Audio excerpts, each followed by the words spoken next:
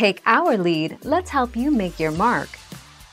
Our goal is your satisfaction. Let us show you the way. But today there's a medical procedure that can permanently turn your brown eyes blue.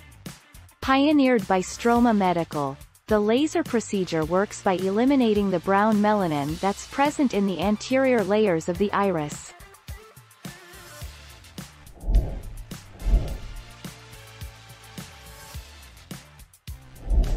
Make your mark, take our lead.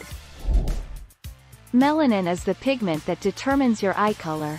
The more melanin you have in your eyes, the darker they will appear to be. Some people believe that applying a mixture of honey and water can change your eye color over time. There's no evidence to suggest that this home remedy would work.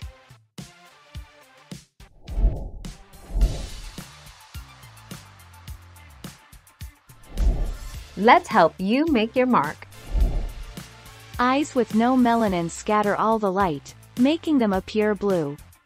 An iris with a lot of melanin absorbs light, making it appear darker. And an iris that has some melanin will absorb some light and scatter the rest, making it appear green.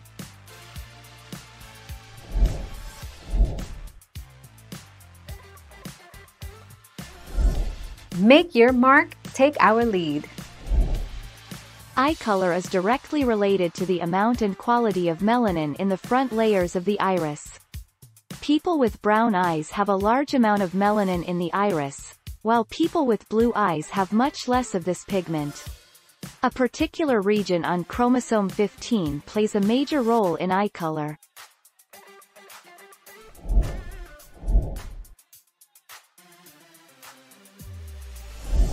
Make your mark, take our lead.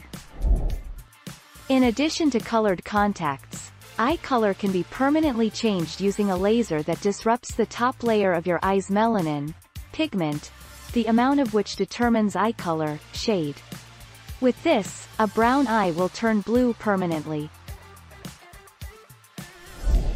Thank you for watching. Please subscribe and hit the bell notification.